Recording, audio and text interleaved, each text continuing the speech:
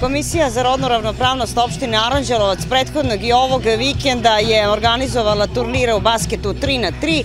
Cijel, čitav projekat se zove Tim Moje ulice. Prethodne nedelje imali smo prilike da vidimo najpre devojčice, zatim dečaki, da se podsjetimo kako je izgledalo prethodni vikend. Prvo za najmlađe, za nama je sekretar Sportskog saveza Aranđelovca Boja Nikitov i Sportski savez, naravno kao i ostale institucije, podržavaju sve, sva sportska dešavanja u našem gradu da se tako izrazi, mi smo tu da podupremo po znacima navoda sve ono što se događa kada je u pitanju sport, ono što nas raduje u posljednjih pa reći ću godinu, dve, jeste sve veća aktivnost kada je u pitanju školski sport i nije sve prepušteno udruženju pedagoga fizičke kulture, da se sami organizuju što su oni u dosta situaciju učinili.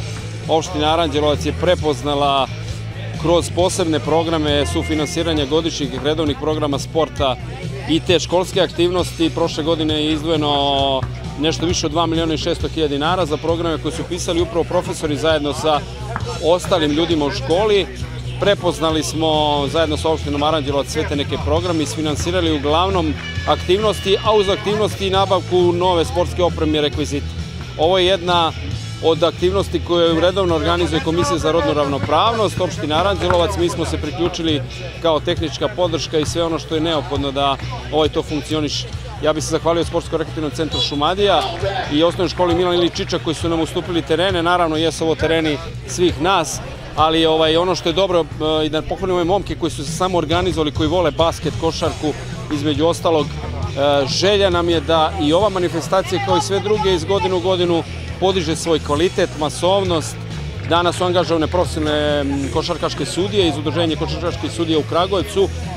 Tu su, kažem, i momci naši koji su igrali završnicu državnog prvenstva basketa 3 na 3 e, sport koji postaje sve popularniji, čak i olimpijski sport, a ono što je jako bitno, Srbija ima izuzetne rezultate kada je u pitanju sport 3 na 3. Pitali ste me za prošli vikend, manji broj ekipa, što je očekivano osnovaca u odnosu na ove starije. Danas je ovaj to dosta profesionalnije, ne samo što se tiče kvaliteta košarke i suđenja, već smo prijavili skup, e, imamo obezbeđenje, jer se može desiti da zbog emocija imamo, jel tako, i da sevaju varnice, što je u sportu dozvoljeno do nekih određenih granica. Zdravstveni centar, ovaj, njima se zahvaljujem je tu takođe koji pruža ovaj podršku za nešto ovaj, što se zove Ne daj Bože, a nadamo se da toga neće doći. Nadamo se da neće doći do Ne daj Bože, ali čini se da su učesnici ozbiljno shvatili današnji turnir. Koliko učesnika danas i šta nas očekuje sutra? A, imamo 12 ekipa, četiri grupe po tri tima, igraće svak sa svakim, sistemom takmičenja naravno oni koji su neuspešni po grupama, plasiraće se u narodnu fazu ovaj takmičenja. Ono što je ovaj i dobro i nije jeste da je izuzetno toplo vreme, ovaj, pa ali dobro, da, kompanija Knjaz Miloš e, potrudila se da nam pomogne malo sa, s akvavivom.